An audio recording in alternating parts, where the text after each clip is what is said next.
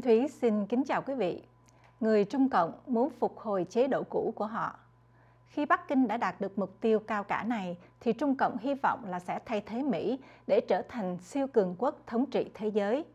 Nhiều nhà phân tích, đặc biệt là các nhà phân tích phương Tây đã chế nhiễu khái niệm này. Rõ ràng là mục đích của Trung Cộng là muốn sắp xếp lại trật tự thế giới một cách triệt để, để cho người Trung Hoa được lợi thế. Nhìn vào sự phát triển của Trung Cộng từ thời khởi thủy cho đến nay thì chúng ta thấy rằng Trung Cộng không ngừng bành trướng ra khỏi cội nguồn của họ bên bờ sông Hoàng Hà. Rồi chiếm được phần lớn lãnh thổ ở miền đông lục địa Á Âu. Ban đầu thì Trung Cộng bành trướng từ khu vực sông Hoàng Hà, rồi chuyển lên phía Bắc và phía Tây. Rồi Trung Cộng xoay trục một cách từ từ và bắt đầu tiến xuống phía Nam về phía Đại Dương. Hiện nay thì vùng đất nước của Trung Cộng kéo dài từ Afghanistan đến tận Bắc Triều Tiên. Kết hợp khả năng với mục tiêu, lý do khiến cho nhiều nhà quan sát Trung Cộng đã nghĩ hoài về việc Trung Cộng có ý định trở thành siêu cường quốc, thống trị toàn cầu thật sự, nhưng khả năng của Trung Cộng không tương xứng với mục tiêu.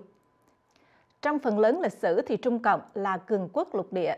Trung Cộng tránh được những cam kết quân sự lớn trên biển – Điều đáng chú ý là ngoại trừ hạm đội kho báu của Trịnh Hòa vào thế kỷ thứ 15, những người hoài nghi cho rằng Trung Cộng mãi mãi sẽ vẫn là như thế. Nói một cách khác, Trung Cộng là một cường quốc lục địa, tương tự như là nước Nga. Do đó, Trung Cộng sẽ vẫn giữ thế thượng phong trên đất liền và khá yếu trên đại dương.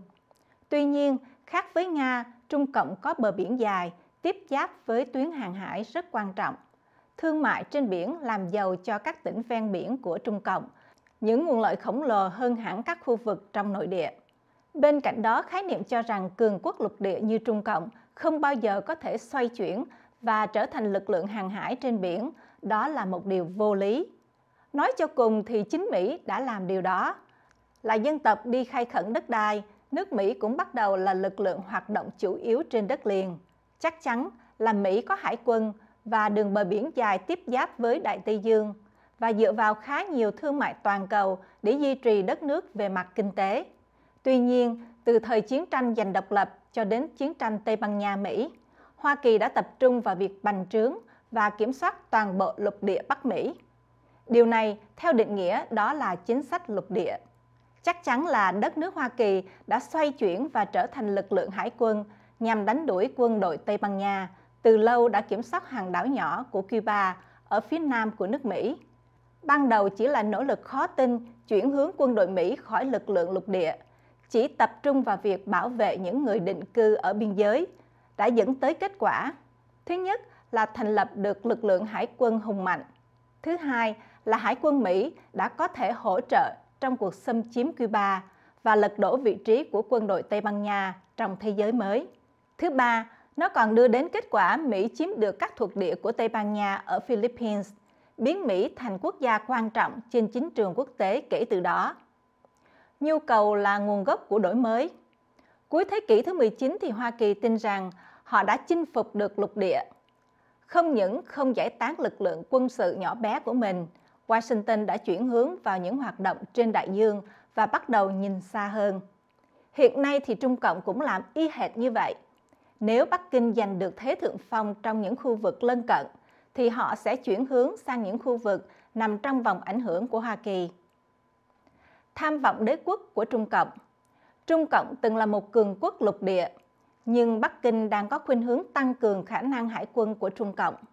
Tương tự như Mỹ trước đây, việc phát triển lực lượng hải quân của Trung Cộng có nghĩa là họ sẽ hất cẳng những quốc gia mà họ cho là thù địch, như là Mỹ, đang hỗ trợ cho Đài Loan, vốn là một mối đe dọa đối với Trung Cộng từ năm 1949 ra khỏi khu vực ảnh hưởng của Trung Cộng. Đối với Trung Cộng, trường hợp Đài Loan cũng tương tự như là Cuba đối với Mỹ vào năm 1889. Các nhà quan sát nhanh chóng chỉ ra rằng ngay cả trong giai đoạn đỉnh cao quân đội Trung Cộng vẫn chỉ là siêu cường quốc khu vực. Sự kiện ít người hiểu là toàn cầu hóa và quy mô có 102 của Trung Cộng đã biến Trung Cộng trở thành tay chơi chủ chốt trong hệ thống quốc tế. Trên thực tế thì kể từ khi quan hệ Trung Nga rạn nứt trong thập niên năm 1970 và thái độ thân thiện sau đó giữa Mỹ và Trung Cộng, tiền và kiến thức của Mỹ đã được sử dụng một cách hiệu quả nhằm xây dựng Trung Cộng thành một tay chơi lớn như hiện nay. Có một thời quan hệ Trung Mỹ từng được gọi là China America nhưng sau cuộc suy thoái năm 2008, dường như hai nhóm này đã ly khai. Khi những bất hòa xưa cũ bùng lên, nhiều người tự ăn ủi bằng quan niệm cho rằng Trung Cộng không bao giờ có thể trở thành lực lượng đe dọa đối với Mỹ. Đúng là Trung Cộng phải quan tâm tới một số vấn đề to lớn. Tai họa về nhân khẩu học, tốc độ tăng trưởng kinh tế chậm lại, thất bại của chính phủ quá tập quyền.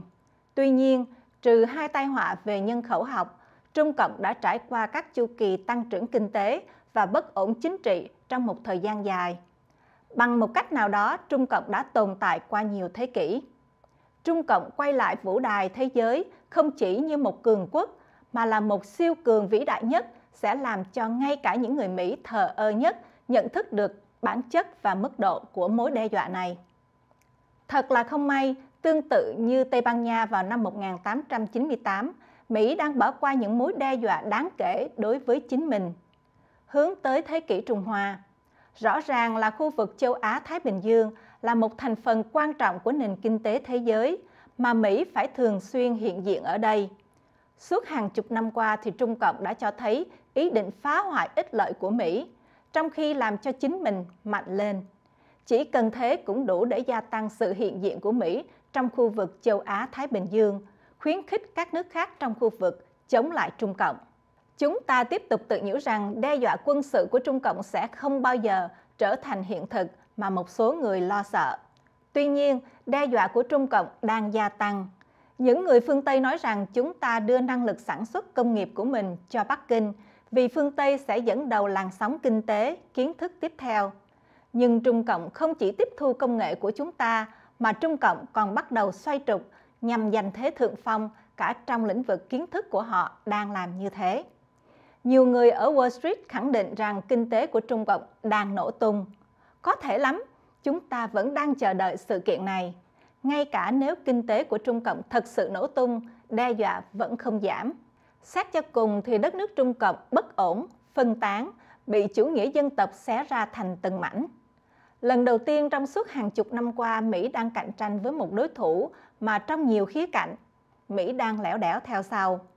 Trước hết, các nhà lãnh đạo Mỹ phải thừa nhận mối đe dọa này. Sau đó, Mỹ phải vận động để làm những điều mà Tây Ban Nha không làm được với nước Mỹ trong giai đoạn đang ngóc đầu lên. Thách thức ngay từ đầu nhằm loại bỏ bất kỳ mối đe dọa thực sự nào. Cảm ơn quý vị đã theo dõi. Minh Thúy xin kính chào và mong gặp lại quý vị trong chương trình phát hình lần tới.